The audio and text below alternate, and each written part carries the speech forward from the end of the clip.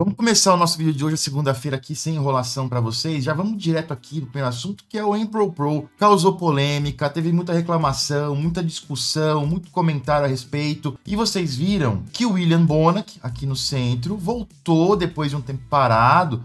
Ele, inclusive, falou que queria se aposentar, que talvez voltasse, não sabia se voltaria ou não, que ele queria curtir a família. Ele voltou e ganhou o campeonato. Em segundo lugar ficou o iraniano Berostabani e em terceiro a besta eslovaca Mihal Krijo. Como vocês viram na thumb, o Berostabani mencionou ali vergonha, né, em termos do resultado, e ele postou isso aqui ontem à noite falou o seguinte: tradução do Instagram: Viva o povo zeloso do meu país, Irã. Tenho vergonha de todos vocês. Só isso mas não sei reclamar. Se o povo iraniano cuidar de mim, eu vou recompensar vocês. Então ele tá no lance é, não é que ele sentiu vergonha, não é que o resultado foi uma vergonha. A escolha da arbitragem foi uma vergonha. Para alguns foi. Dá pra gente argumentar, realmente. Mas o que o Beros Tabani quis dizer, na sua grande humildade, é: eu estou envergonhado por não ter vencido. Isso é uma característica dos iranianos ali. O Hadi já falou isso também. E nesse mesmo post do Beros Tabani, o Stefan Kinzel, o boss da Potlock, é o coach do Bona, falou: ele estava fantástico, especialmente nas finais. Nesse mesmo post, o Milos também fala aqui,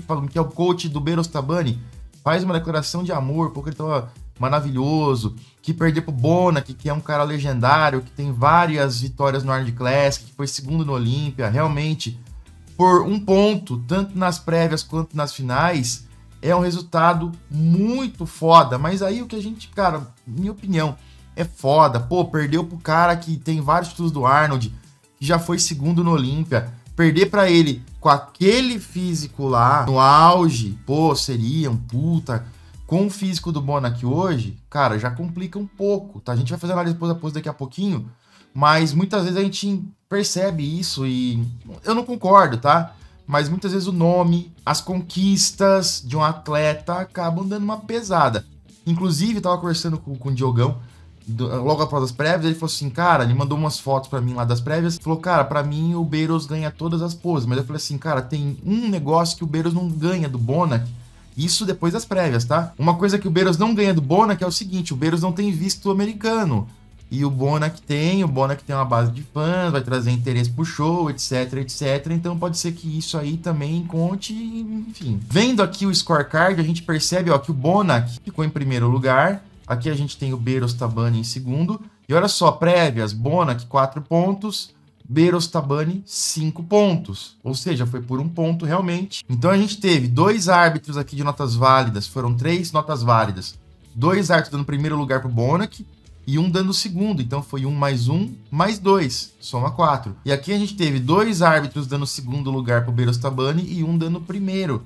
2 mais 2 mais 1, soma 5. Por isso que foi por um ponto. Ou seja, foi muito próximo, cara, pela contagem e votos de arbitragem.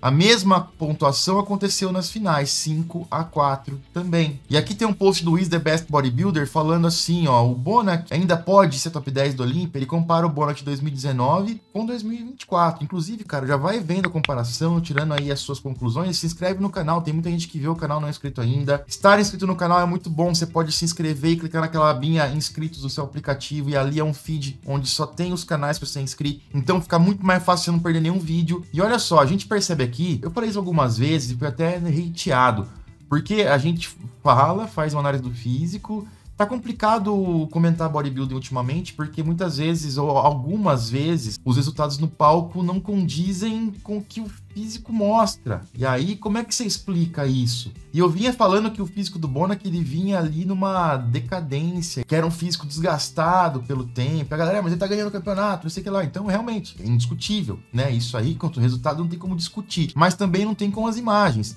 E a gente percebe que a parte que mais sofreu, os braços deram uma sofrida, perderam tônus, tão ruins? Não tão, absolutamente, estão excelentes, mas deram uma perdida de volume, de preenchimento, de fullness. E o que mais sofreu foi a sua linha de cintura, cara, ela largou demais. Ele já é um cara que tem tronco curto, então essa distância aqui até em cima é curta, e comparado com as pernas, o tronco dele é atarracado, o que faz dar a impressão de mais largo.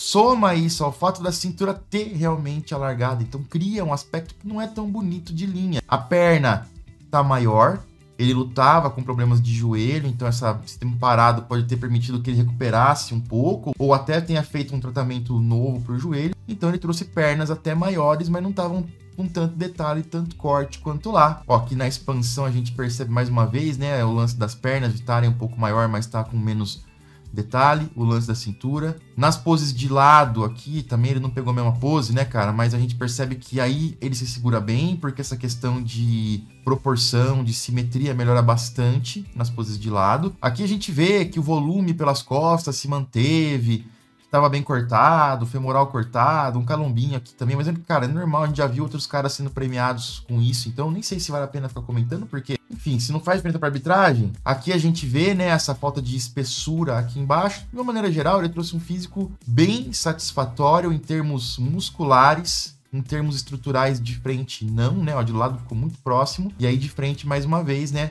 a questão da linha de cintura, o dorsal um pouco menos espesso, realmente faz com que a linha dele acabe piorando bastante. Mas estamos falando aqui em piorar, vamos falar de algo melhor, cara, que pode melhorar sua vida, sua qualidade de vida, seu conforto. Cueca Performance da Insider. A cueca Performance é a melhor cueca que você pode ter, que você pode comprar. Ela tem a perna um pouco mais compridinha ali, ela consegue te comprimir sem te apertar, te deixar confortável, te acolher muito bem. Tem tecnologia anti-odor, tem tecnologia de absorção rápida de suor, você está sempre seco e cheiroso o dia todo para fazer cardio. É o que eu falo. Melhor coisa para treinar e fazer cardio, porque como a perna não enrola e não sobe, ela garante muito conforto para você, então não espera, corre lá agora no insiderstore.com.br. Melhor ainda, usa o link que está na descrição, no comentário fixado no QR Code. Você já vai no site da Insider e já vai ter ali o meu cupom SHINE12 aplicado automaticamente, vai ganhar 12% off aí no site todo da Insider.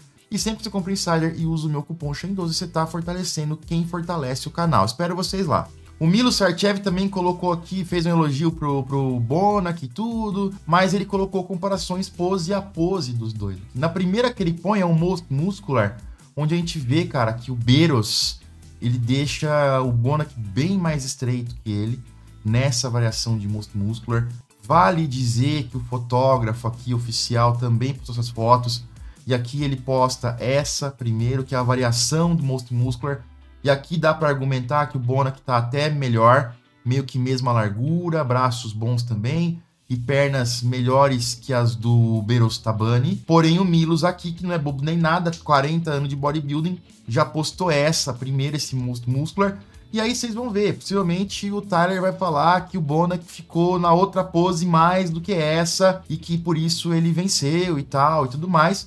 Mas nessa pose aqui, se a gente for pensar bem, o Beros Tabani vence mais largo, peitoral maior, mais espesso, braços maiores também, mais marcados. As pernas aqui com uma pequena desvantagem, o Bonac tem uma pequena vantagem, mas de uma maneira geral, entre linha, volume, largura, estrutura, o Bubeiros ganha. Não tem muito o que discutir. Outra pose que o Mills colocou primeiro aqui, que é uma pose bem jogada primeira, é o duplo bíceps de frente, que também, para mim, fica muito claro em termos de linha de condicionamento, que o Beiros Tabani tem uma linha melhor, é um físico mais alongado, a cintura bem mais estreita, o que confere um X mais pronunciado. Aqui o Bonac, como tem a cintura mais larga e bem mais larga, e para mim isso aqui, cara, não, é, não fica tão legal e não é tão legal ver um cara ganhando um show profissional com esse tipo de cintura, mas ele acaba perdendo por uma questão estrutural, mais baixo, um X não tão pronunciado, mas ele consegue, pela experiência que ele tem de poses, separar um pé do outro. Eu percebo que tem um pé muito mais longe do que do outro, comparado ao Beros Tabani. Isso faz com que os quadríceps saiam mais para os lados e forme-se um X maior. Então, possivelmente também a gente vai ver um argumento do Tyler que estava lá e vai fazer esse, essa explicação de que o Bonac ganhou algumas poses simplesmente por posar melhor, não por ter um físico melhor. Então isso também mostra o quanto que pose é importante. Mas para mim aqui também, assim como no Monstro Muscular, o Beros Tabani venceria. Na pose de lado, como eu falei, o Bonac é muito forte, aí todo esse problema de quadríceps, de cintura, de desproporção, de assimetria, desaparece, você mostra só um lado. Aqui a perna dele é muito poderosa, tem detalhe, tem corte, tem separação, braço muito bom também. O peitoral tá menos espesso do que antes, mas ainda segura muito bem. Aqui para mim é um empate, dando até a possibilidade da gente pensar que o Bonac tenha vencido, dando aí o benefício da dúvida. Expansão dorsal de costas para mim o Beros Tabani acabou ficando mais largo e pela cintura mais estreita tem um V mais pronunciado, posou bem, marcado aqui, mas as pernas do Bonac são grandes também e ele não fica tão estreito assim, mais uma pose muito próxima, com o Beros vencendo a parte de cima, o Bonac vencendo a parte de baixo, talvez um empate, duplo bíceps de costas aqui, eu acho que o Bonac ainda é melhor, tem braços muito bons, bem cortados, ombro, os dorsais aqui, mesmo não tendo tanta espessura embaixo, o Beros também não tem ainda, pernas muito boas, então aqui seria também uma pose para o Bonac vencer, analisando friamente. E nessa pose de lado, para mim, o Bonac acaba vencendo mais uma vez. As pernas não estão tão melhores assim que as do Beros Tabani, mas ele consegue mostrar melhor o braço, ele consegue posicionar melhor o tronco. O abdômen ele não consegue contrair o oblíquo, mas ele tá mostrando ali muito bem. Enfim, o Beros Tabani, a gente vê que ele tá torto, segurando, com dificuldade aqui, segurando uma mão na outra. E percebam, né? a, a diferença de, tamanho de tronco, como que a mão, do o braço esticado do Berostabani tá lá quase na parte de cima do glúteo, e o braço do Bonac, como tá lá na parte de baixo do glúteo, porque ele tem o tronco mais curtinho, possivelmente aqui o Tyler vai falar que o Bonac vai ter vencido porque posou melhor, e aqui expansão de frente, as pernas pode considerar a mesma coisa, e a parte de cima do Beros mais espesso, mais denso, mais sólido, com linha melhor. Eu daria aqui a vitória para essa pose para o Beros Tabani. E abdominal e coxa não tem também o que discutir, né, cara? A cintura do Bona que acaba jogando um pouco contra, embora as coxas aqui acabem tendo um volume, arredondamento, mas a estrutura dele acaba ficando muito reta e para mim essa pose aqui seria do Beros Tabani. Mas vamos ver o que, que o Tyler vai falar. Possivelmente o Tyler tem algumas explicações maiores para dar a respeito desses comentários aqui, dessas poses, desse, dessa análise desses físicos. De uma maneira geral, o público odiou o resultado. A gente tem aí muitas reclamações. Olha só, se você pegar todos os posts que a gente mostrou aqui, você vai ler 90%, 95% dos comentários são negativos em relação a essa vitória do Bonac principalmente pela linha dele. E eles falam aqui, ó, não sei o que tá acontecendo, que porra que tá acontecendo no bodybuilding, mas da premiar pessoas com essa linha de cintura é muito ruim pro esporte. Esse outro fala, ó, o Belos devia ter vencido, o Bona que parece velho e sem shape, cintura muito larga, um, um, um dos grandes dorsais atrofiado, braços pequenos, eu não vejo como ele venceu. No outro post aqui, alguém fala, ó, que porra é essa, cara? É uma vergonha verdadeira para o bodybuilding. Respeito o Bonac muito, mas o Beros Tabani estava muito melhor. O outro põe aqui, ó. É por isso que o julgamento no bodybuilding é uma piada. Num outro post aqui, alguém comenta o seguinte: agora eu percebi por que, que eles premiam alguém como Nick Walker. Parece que a linha de cintura, o V-taper, não são mais importantes no bodybuilding. Para não ficar o vídeo muito longo e muito maçante, cara, ali só algumas aí das reclamações. Se você olhar as, as, postagens, vai ter uma cacetada dessa, mas muito mais do que elogio. E eu quero também a opinião de vocês. Comenta aqui se vocês acharam que foi legal, por que o Beres ter vencido, quem acha que o Bona tinha que ter vencido, comenta aí por quê. Olha só quem também tava por ali, cara. O Stefan Kinzel também é coach do Urs Kaletinski. E o Urs foi lá porque é o fim do off dele. Ele fala que estava na, na, Itália, olha, mostrou o físico.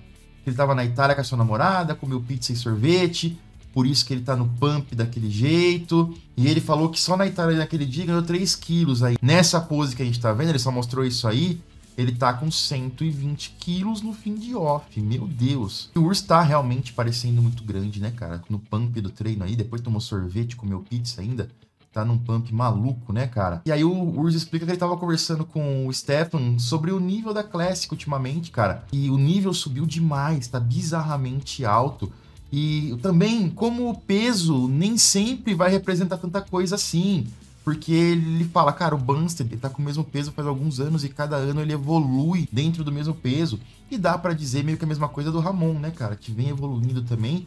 Então o bagulho tá muito louco. Quero muita opinião de vocês sobre esse off do Urs de 120 quilos. Comentem aí pra mim. Esse fim de semana também saiu um treino de pernas aqui. Cara, que collab nervoso isso aqui. Hein? Rafael Brandão, Horse, Tenente Breno, Pinduca e Johan Schatz puxando o treino ali.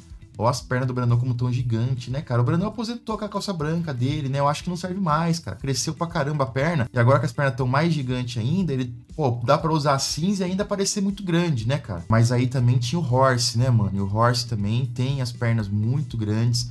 estão fazendo ali um hackzinho, Cybex, olha só o pump que tá o Horse. E um cara que vem impressionando positivamente é o Tenente Breno, cara. Olha como evoluiu o físico dele. Tá gigante, tá pesado. As pernas vêm respondendo bem, estão crescendo. Olha só como que tá aí, pô, treinando perto de Rafael Brandão e Horse, né, cara? Não fez feio, o Johan também ali puxando ele ao limite. E no fim ali eles terminam com um agachamento livre na barra, dentro da gaiola, com a barrinha de segurança, muito legal. Vocês vão ver ali daqui a pouquinho que ele está em cima de uma plataforminha para elevar o calcanhar e permitir com que ele desça com o tronco mais reto para focar mais em quadríceps. Vocês também estão percebendo aí que a amplitude está muito boa e que o Bruno está segurando a barra com dois dedinhos só, porque não tem tanta amplitude assim para conseguir rotacionar o braço dele e segurar a barra melhor. Só que vocês também vão perceber daqui a algumas semanas que isso, caso ele mostre o vídeo de novo, vai estar tá melhor devido ao Pilates, tá, rapaziada? Então é uma coisa que ele está se preocupando e vai melhorar. E eu quero muita opinião de vocês aí sobre esse treino de perna de Rafael Brandão, Horst, Tenente Breno. Vou ficando por aqui, cara, mas daqui a pouquinho eu volto com mais. Tem muita coisa hoje, hein? Fazia tempo que eu já tanto assunto assim, então se inscreve, liga a notificação para não perder nada. Valeu!